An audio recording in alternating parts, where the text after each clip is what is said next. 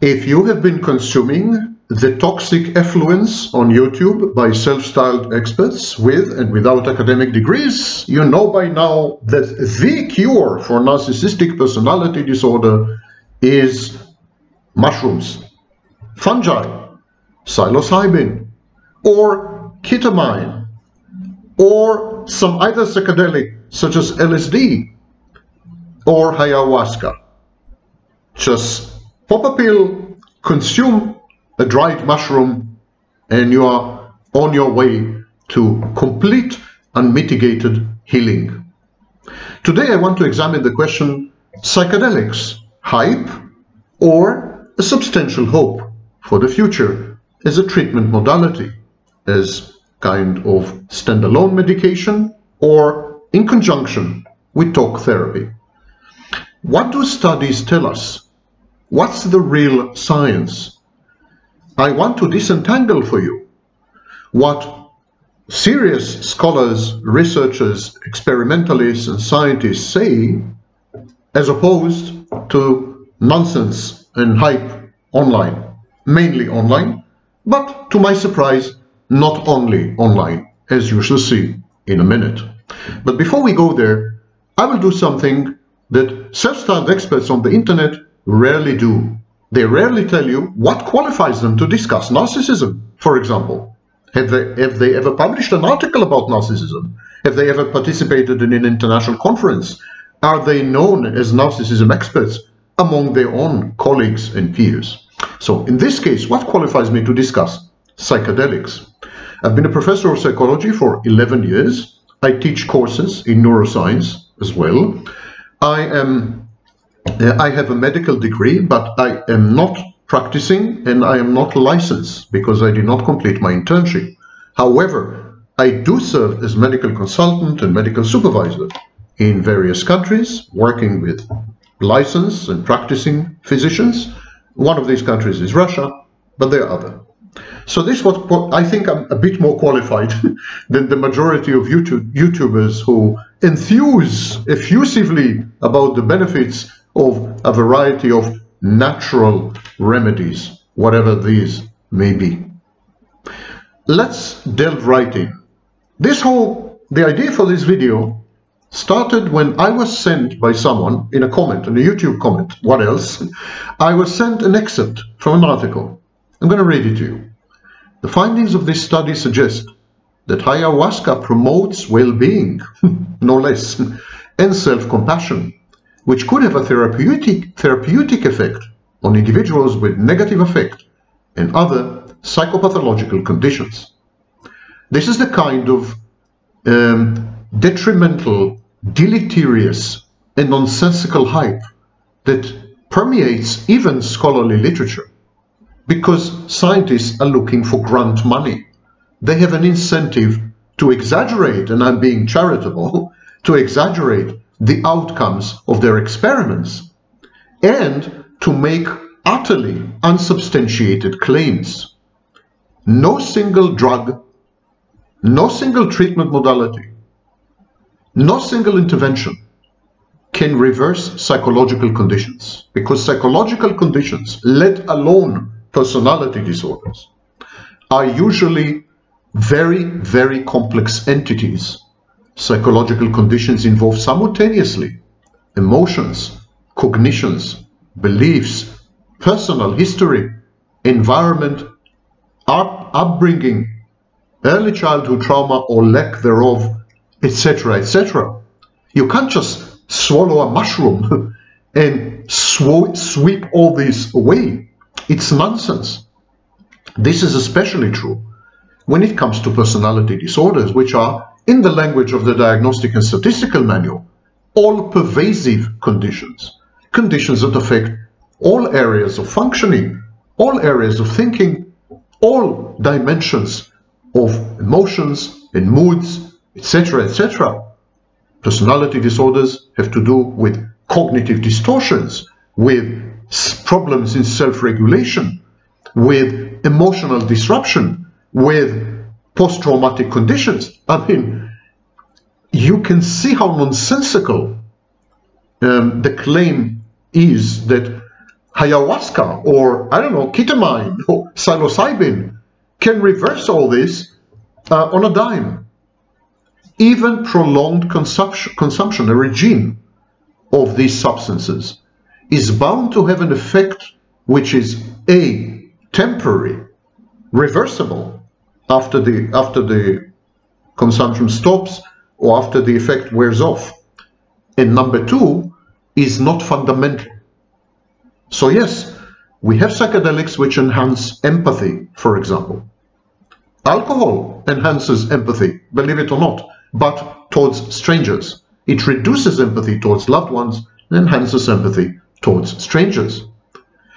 Similarly, other substances, they, they do induce change in, for example, self-compassion, in the level of self-destructiveness, and so on. But again, these changes are passing, transient, and only one element of hundreds, one element of hundreds is affected by the substance.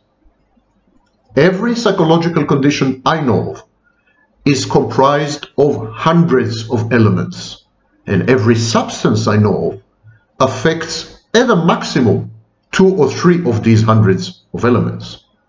That's not healing, that's not cure, that's nothing. That is mild transitory behavior modification at best, a change in internal belief system. And shortly we will see that even these claims, even these claims are highly, highly dubious. The article I quoted from was authored by Dominguez Clave and others, and it's titled Ayahuasca may help to improve self-compassion and self-criticism capacities. Human Psychopharmacology, published in Human Psychopharmacology, Clinical and Experimental, uh, volume 37. Before I go any further, I want to clarify. The narcissist's mood swings, the narcissist's obsessive compulsive behaviors are reactive. They are triggered by fluctuations in narcissistic supply. I encourage you to watch the video I've made titled The Narcissist Three Depressions. They are not the outcomes. These moods are not the outcomes of brain biochemistry, neurochemistry.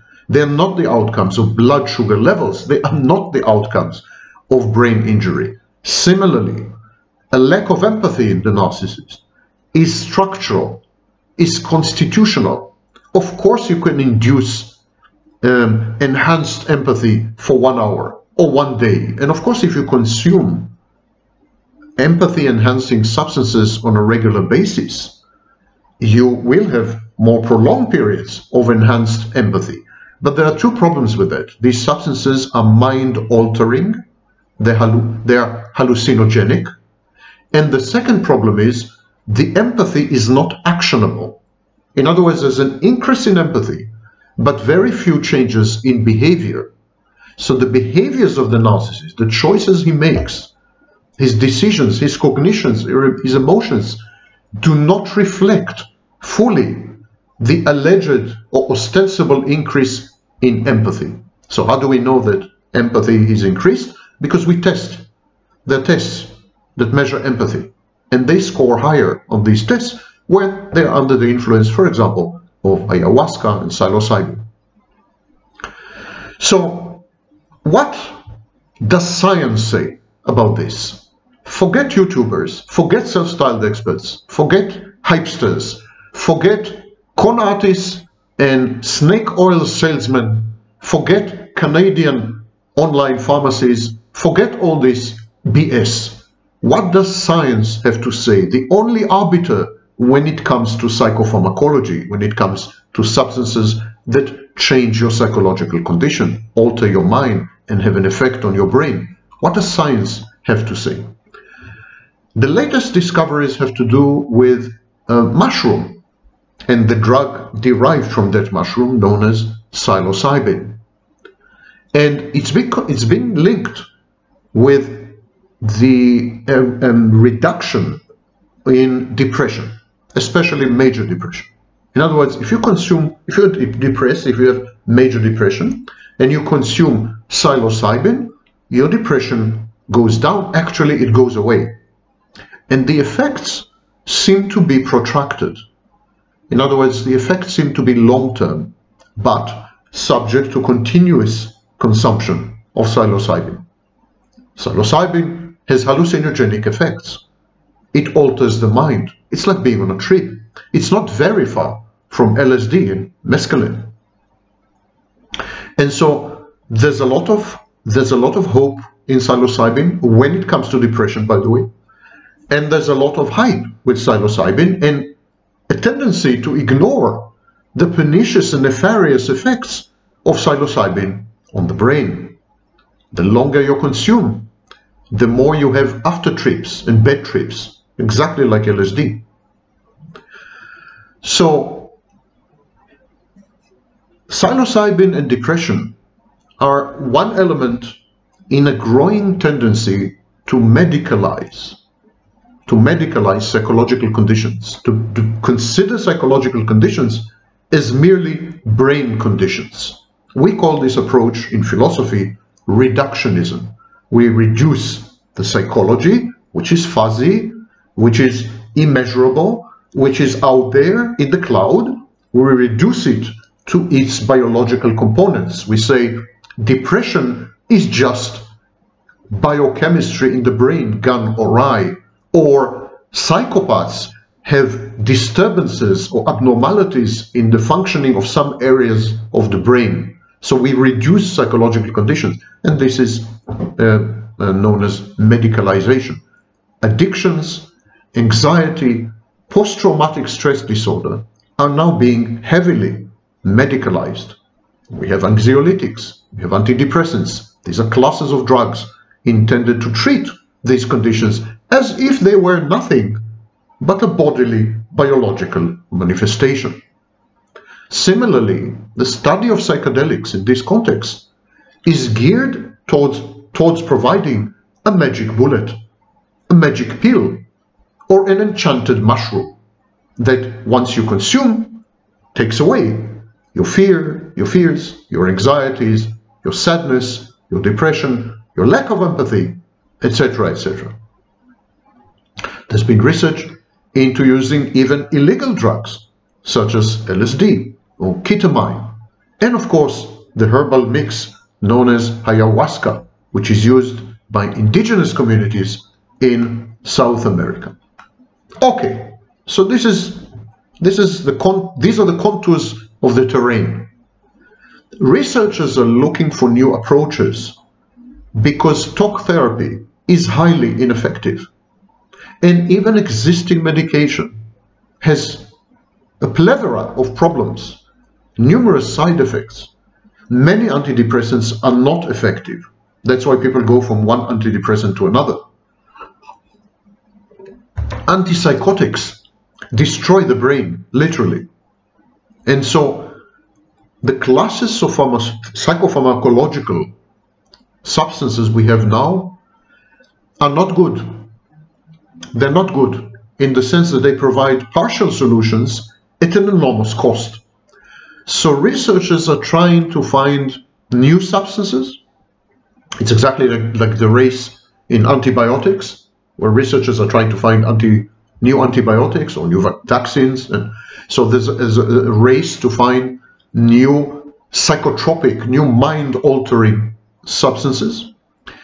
And um, some of these substances compete head-on with established psychopharmacology. For example, some of these substances, I mentioned psilocybin, compete with antidepressants. But as we said, antidepressants, which are now offered for everything, if you have OCD, obsessive compulsive disorder, if you have anxiety, if you have depression, they're going to give you antidepressants. There's another class, stimulants, Adderall, for example, also given, um, uh, amphetamines and methamphetamines, also given very widely. But all these cause severe bodily and mental problems. Anything from weight gain, gain and a loss of sex drive, loss of libido, to uh, hallucinations, uh, detachment from reality, impaired reality testing, paranoia, uh, depression leading up to suicide. Talk therapy is also very limited. It has, it takes a lot of time, and the outcomes are are very, very disappointing. And most people can't even access talk therapy because the waiting lists are enormous and the prices are sky high. So psychedelics look like a perfect, perfect storm, perfect solution to this perfect storm. Like psychedelics are natural, people like natural things. They don't understand that everything is natural. Even things manufactured in, in a laboratory are natural. There's the distinction between natural and artificial is marketing hype. And most natural substances are processed in lab laboratories and, and non-natural synthesized substances are added. So it's total nonsense. Anyhow, people like natural. Psychedelics are natural. Most of them. Not all of them. Most of them. LSD, for example, isn't. But most psychedelics are natural. That's an advantage. Second thing is, psychedelics are like a magic solution in the sense that they're easy to consume and they have immediate effects. And the effects are huge. They can reverse depression and move you into the territory of elation. Can make you happy, in other words, egosyntonic. They can make you very friendly, very compassionate towards others and yourself, more empathic, etc., etc. So they seem psychedelics seem to have multiple effects while typical psychopharmacological drugs usually have a single effect. Psychedelics are beginning to look like the pharmacopoeia of the future, like the, the, the, the future panacea, a solution for all our problems. Uh, one issue is that most of them are illegal, as marijuana used to be, but I think that's not a serious issue. Should, should uh, medical benefits be proven, I think most of these drugs would be legalized. Indeed, many, many scientists say that these drugs, these substances, I'm sorry, should be investigated because they have an enormous promise. And very, very serious scientists are saying this. So I'm not underestimating the potential of psychedelics. What I'm against is the hype, the claims that are unsubstantiated deceiving and deluding and misleading people into assumptions and beliefs that are not supported by evidence. This is not evidence-based. For example, the claim that psychedelics can reset your brain, reboot it, start it from zero, which is where most people are anyhow. I couldn't, I couldn't help the dig. Okay. Um, there have been claims, even in scholarly literature, I have seen them with my own eyes, that if you take one dose or two at most, you know, you're going to cure long-standing mental health conditions because these doses are going to reset your brains. I have seen claims that if you take one or two doses of ayahuasca or or ketamine or other drug substances which I'll discuss in a minute, you'll get rid of your narcissistic personality disorder. Why? because they're going to wipe this they're going to wipe the slate clean going to restart your brain from zero i can't begin to tell you how counterfactual nonsensical and criminally irresponsible these claims are they are based on very early tiny studies sometimes with seven people and none of these studies not one of them had a control group who took a placebo, sugar pills. You know, each experiment in, in science, or at least in the social sciences, like psychology and psychopharmacology, each experiment requires, and in medicine, of course, clinical trials require a, a placebo group, a group that is deceived into believing that they are receiving the real medicine when they're not, or a group which receives a pill and they don't know if it's real or not. So we have a group that is receiving the new medication and a control group, a, a group for comparison, which are receiving sugar pills and they believe that they are receiving the real medication. We want to see what percentage of the change in physiology, in psychology, what percentage of, percentage of change is attributable to the medicine itself and what percentage is attribu attributable to autosuggestion, to self-suggestion, to people, people's minds altering their bodies. So if you're taking a sugar pill and you have the same effects, you display the same outcomes as someone who is taking the medication, the medication is worthless, is useless. It's not the medication, it's your mind that is playing tricks on you. And this is called the control group.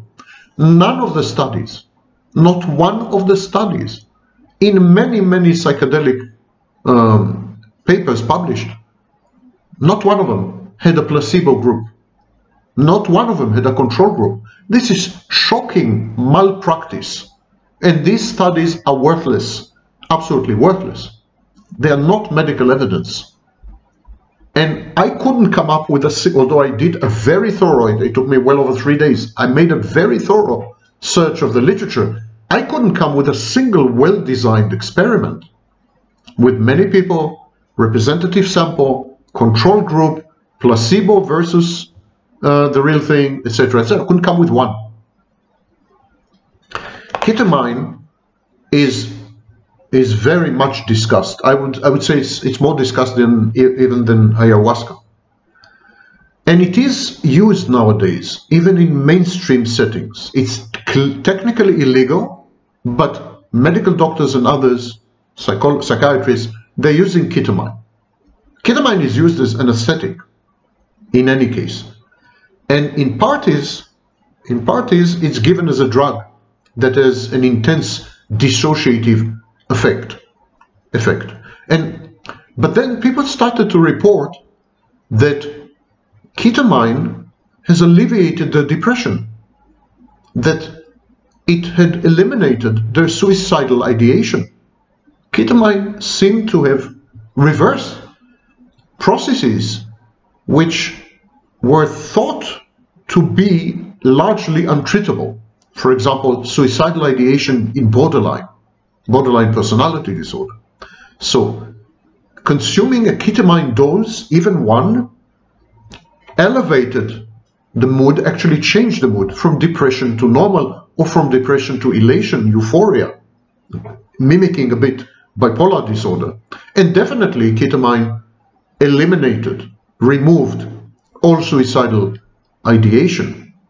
There's a form of ketamine, it's known as esketamine, and esketamine is licensed actually as an antidepressant both in the United States in, and in the European Union.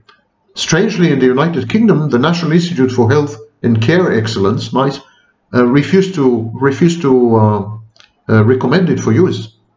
So I think in the UK it's illegal.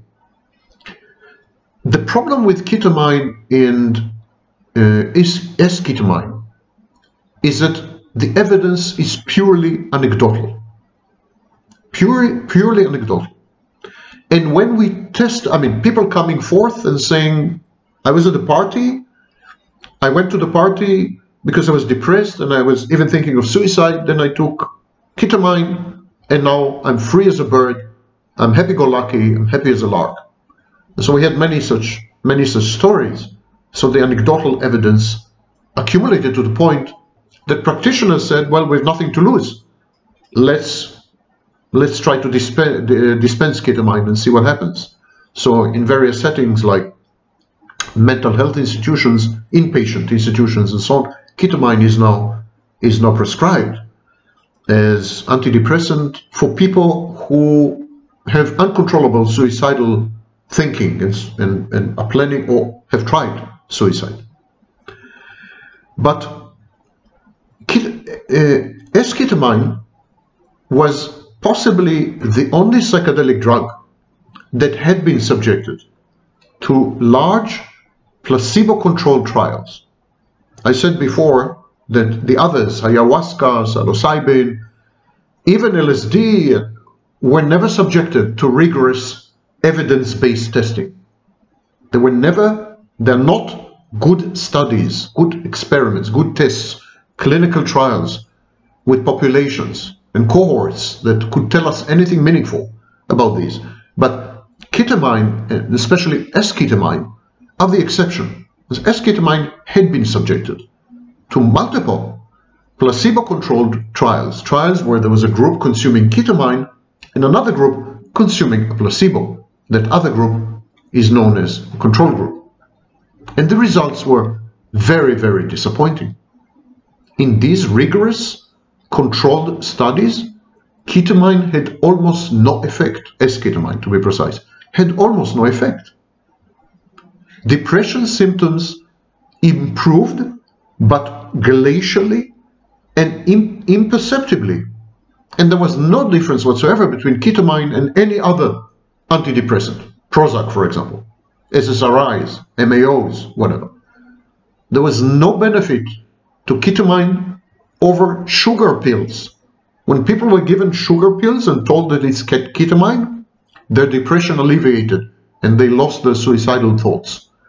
So it's not the ketamine, it's the reputation of ketamine that has this effect. We ran a similar experiment, we, I mean psychologists, we ran a similar experiment with alcohol.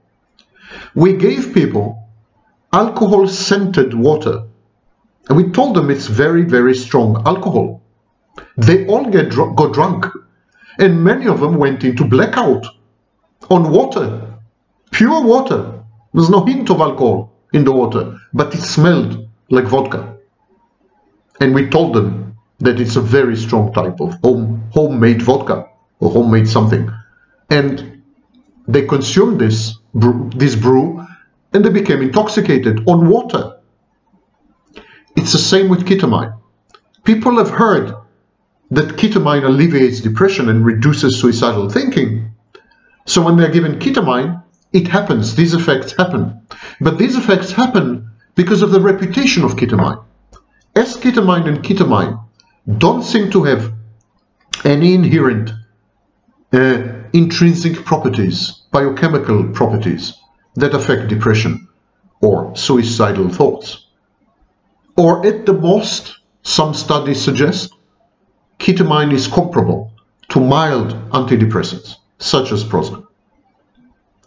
So here's an example of the only psychedelic drug to have been tested rigorously and to have essentially failed in demonstrating any added benefits, while at the same time altering the mind in dangerous ways. So psychedelics may, may, may do more damage than good. On the scales of good effects versus bad effects, psychedelics offer very little in terms of good effects, or very little that other medicines can, can, cannot offer. And at the same time, they screw up your mind. They induce, they induce hallucinations. They impair your reality testing. They affect your executive functions. You, you, you can make very seriously bad decisions when you are under the influence, for example, of LSD. They have after effects such as bad trips in LSD and so on and so forth. We need to weigh these. There needs to be a balance between benefits and, uh, and these uh, costs. Some psychiatrists in the United Kingdom even went as far as stating that ketamine can cause people to become addicted to require increasing doses doses to attain the same effect. This is known as tolerance. So these, these eminent, pretty eminent psychiatrists in the United Kingdom, what they're saying is that psychedelics can and do become addictive. The body does develop tolerance. And so you need to take more and more. And because they alter the mind in very dangerous ways, you're taking enormous risks with these, with these substances. I want to make clear that there are no, I tried, I looked everywhere. Believe it or not, there are no large clinical trials with a control group available even for the most hyped substances such as psilocybin and ayahuasca. There was a study, um, it was a brain scan. They scanned the brains of people consuming psilo, psilocybin. And the, the researchers who had conducted this study with fMRI, functional magnetic resonance imaging, they said that the study demonstrated that the drug makes different parts of the brain work more in synchrony with each other. which they said explains why it helps people with depression who are stuck in a rut, so to speak, or locked into negative thought patterns, also known as ANTS, automatic negative thoughts, hopelessness. So what the study, this almost solitary study, had shown, by the way, on a very small population, what it had shown is that psilocybin kind of synchronizes various parts of the brain and gets the brain to work in harmony, which naturally would tend to reduce depression and negative thinking. But then, even with this study, uh, there are serious doubts bordering on accusations. Um, recently, there has been suspicion that many of these results were actually falsified. It's not proven yet, and the researchers are out in the clear. I want to make make it you know absolutely, but the allegations of of false result not not the, not that the results have been falsified by the researchers. The results have been falsified by by the procedure by the by the protocol. In other words these brain scanning studies the way they were designed they're likely to produce false results. So it's not that the researchers falsified the results but they've designed the studies in ways that produce specific results or liable to produce specific results. And I leave it up to you to decide whether this has been intentional or accidental, incidental. David Nutt, for example, of Imperial College in, in London, um, he's a famous researcher, and he said that studies looking for brain perturbations produced by powerful drugs are more reliable.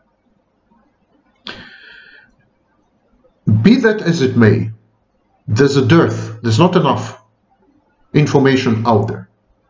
Psilocybin may turn out to be a wonder drug for depression. The signs are hopeful, actually. And of course, I'm not against any substance who can, which can ameliorate anxiety and reduce depression.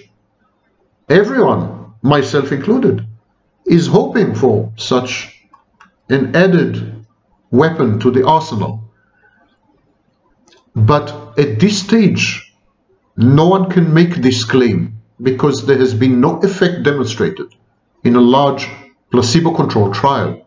And anyone who is making this claim right now is scamming you. I'm, I'm, looking for another word. I'm trying to be, you know, diplomatic, but I'm sorry. Is whoever is making such a claim whoever is making any claim right now on any psychedelic drug, any psychedelic substance, mushroom, fungi, LSD, synthetic drugs, ketamine, I mean, anyone who is making any claim whatsoever about these substances is misleading you knowingly. And there's a name for misleading someone knowingly. I leave the lawyers to attend to it. What about narcissism? Can pathological narcissism be cured or induced by substance abuse or by biochemical balances in the brain or in the blood? I repeat what I said at the beginning.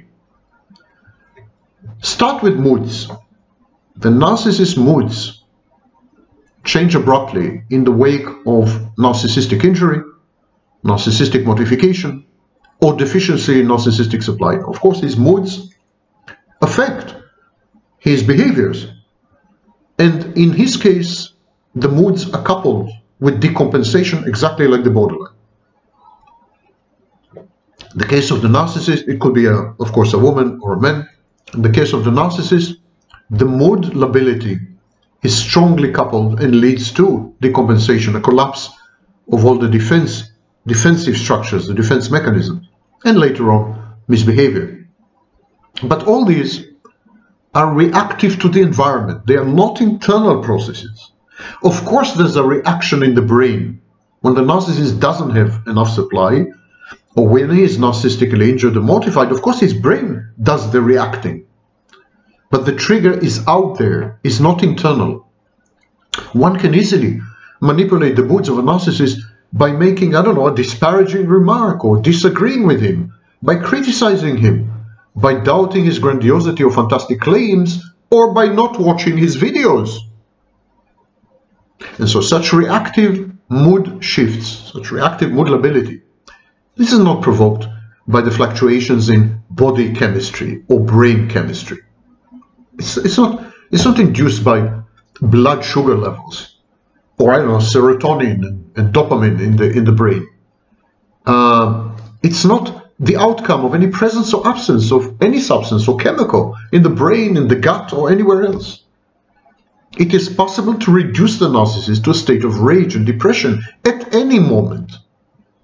At any moment, regardless of what's happening in, inside his body, simply by employing the above techniques, ignoring him, criticizing him, and so on. It's enough. Immediately he goes into a funk. The narcissist can be elated, even manic, and in a split second, following a narcissistic injury, real or perceived, real or imagined, he suddenly becomes depressed. Depressed, sulking, or even raging. The opposite is also true. The narcissist can be catapulted from the bleakest despair to utter mania, or at least to an increased and marked feeling of well-being.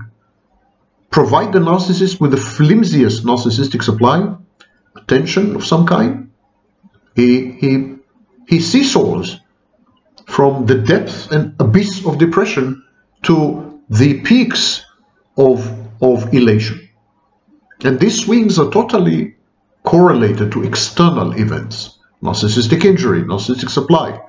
They are not correlated to any cycles of hormones which take much longer, enzymes, neurotransmitters, sugar, I don't know what. They're not correlated to any bodily function or process because these are usually, they, they take longer. It is conceivable though that a third unrelated problem causes chemical imbalances in the brain, metabolic diseases such as diabetes, pathological narcissism and other mental health syndromes simultaneously. We don't know yet. There may be a common cause a hidden common denominator, perhaps a group of genes which are suddenly triggered and expressed. I don't know and we don't know. Certain medical conditions we know can activate the narcissistic defense mechanism. Chronic ailments are likely to lead to the emergence of narcissistic traits or narcissistic personality style. Traumas such as brain injuries have been known to induce states of mind akin to full-blown personality disorders.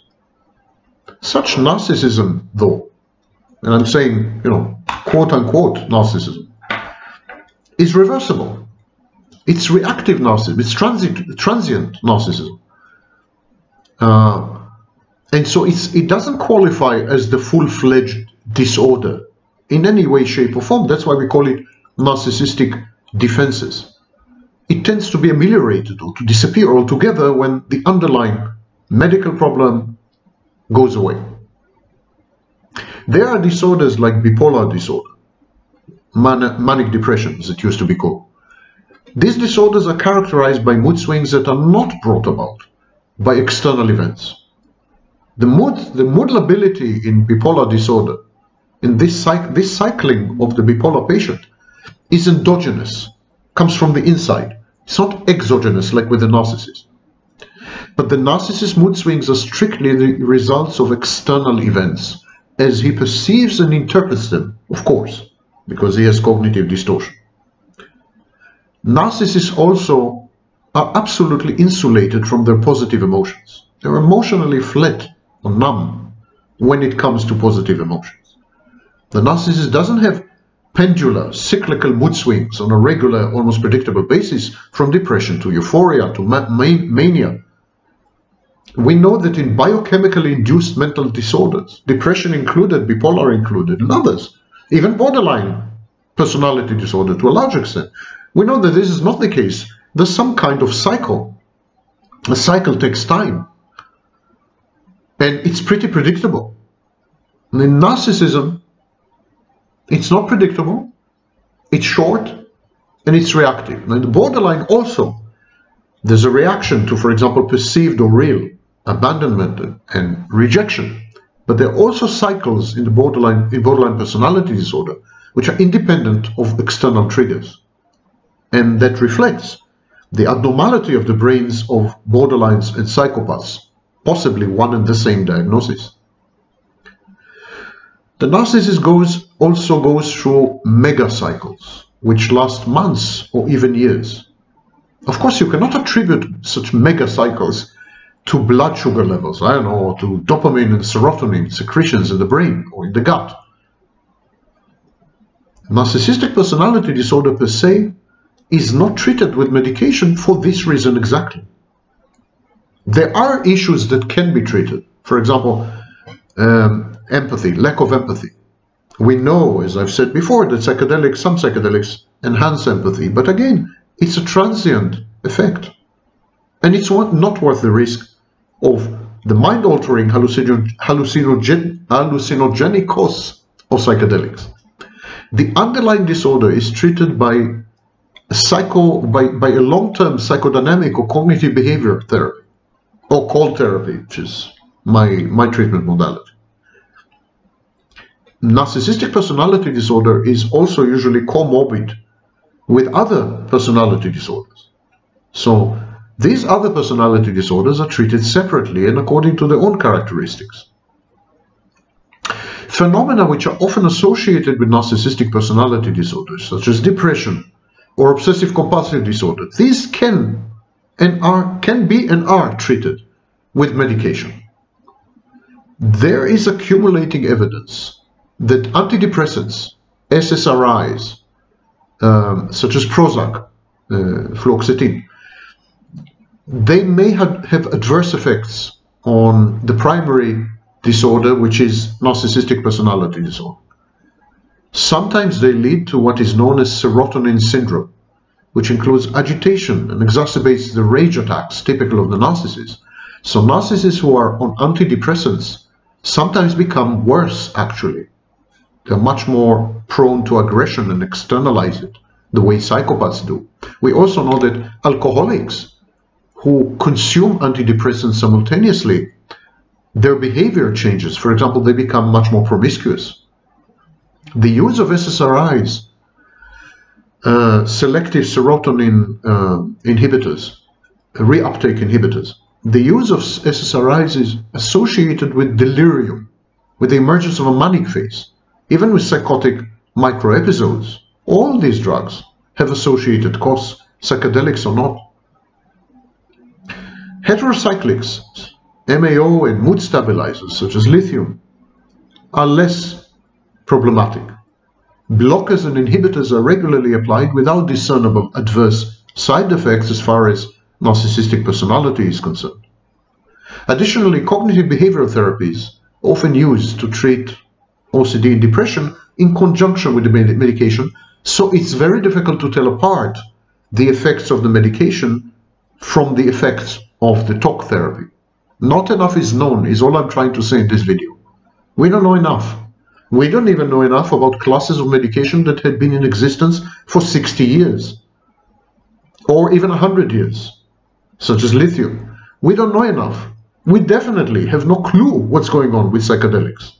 There's, there's been no there's been no clinical trials. We don't know a thing. We are at the very, very inception of the initial phases of hesitantly experimenting with tiny groups of people in very restricted settings. Regrettably, scientists and scholars who are after the limelight, they may be narcissistic or they want money, grant money, they go out there into the mass media and they exaggerate the outcomes of these very limited excursions into scientific territory. And this is criminal. What they're doing is absolutely criminal because they're creating false hopes and misleading the entire scientific community and all laymen in its wake. That's unconscionable, this kind of claims. When it comes to narcissistic personality disorder, not enough is known about the biochemistry of the brain of a narcissist. We haven't found any major structural abnormalities or electrochemical abnormalities as we did with psychopaths and borderlines. The brains of psychopaths and borderlines are, are absolutely different to normal brains. we couldn't, we can't, and we couldn't find this with narcissists. There seems to be some vague link to serotonin, but no one knows for sure whether what it is and how strong it is. There isn't a reliable, non-intrusive method to measure brain and central nervous system serotonin, anyhow. So it's mostly guesswork at, at this stage. And so for now, the typical and recommended treatment for pathological narcissism, comorbid depression, OCD, is talk therapy. That's it. Not psychedelics, not psychotropics, not any other kind of medication. OCD and depression can be treated with antidepressants. Can, these antidepressants can be used moderately.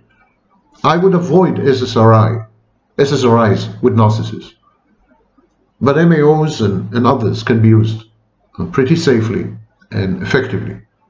But that's it. That's where it stops. So next time you see a video online extolling the amazing effects of ayahuasca and how it can cure all your psychological problems with one or two dried leaf, uh, dried mushrooms, uh, or brew or pill, forget it. These are nonsensical claims that cross the boundary into con artistry, uh, crooked ter territory. Whoever makes these claims is a crook and a swindler and after your money because there is no scientific body of evidence to support any of this, not even with ketamine and esketamine, which are the most studied uh, drugs. Hold your horses, sit back, let scientists do their work as science does.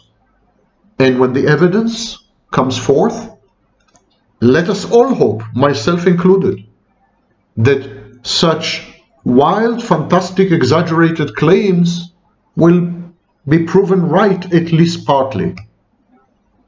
I do believe that psychedelics can be used to treat depression. I think that's it.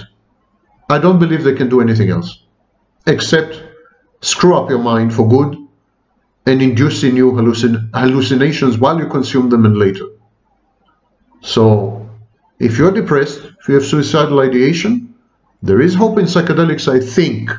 I think. Huge caveat, huge disclaimer. There may be hope in psychedelics in about 20 years' time.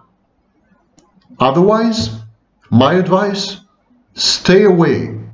I mean, if you like hallucinogenics as a party drug, go for it, have fun. But to consume these substances for self-treatment of psychological disorders is not merited and in all probability would be far more damaging than any psychological condition you may have. You have been warned. You've heard it here.